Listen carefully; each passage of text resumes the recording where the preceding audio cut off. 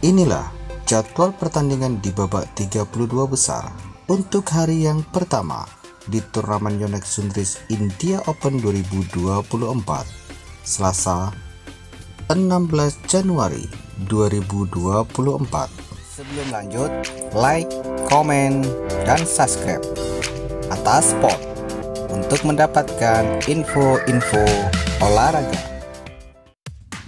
Turnamen HSBC BWF World Tour Super 750 Yonex Sundris India Open 2024 berlangsung pada tanggal 16 hingga 21 Januari 2024 di New Delhi, India dengan total hadiah 850.000 US dollar.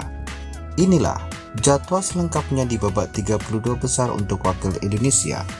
Pertandingan di sektor tunggal putri Gregoria Mariska Tunjung akan menghadapi tunggal putri Cina Taipei Sung Soyun bertanding sekitar pukul 10.30 waktu Indonesia Barat di lapangan 1 head to head 3-0 untuk keunggulan Gregoria.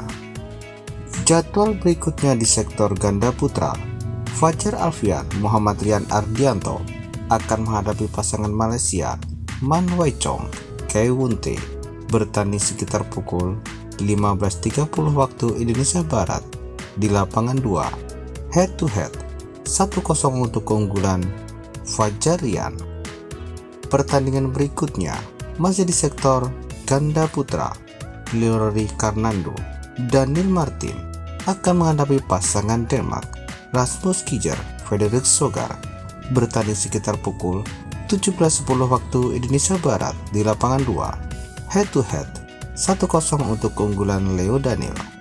Jadwal yang terakhir wakil Indonesia di sektor ganda campuran, Dejan Ferdinansyah Gloria Immanuel Wijaya akan menghadapi pasangan Cina Feng Yezi Huang Dongping akan bertanding sekitar pukul 18.00 waktu Indonesia Barat head to head 1-2 untuk keunggulan pasangan Cina.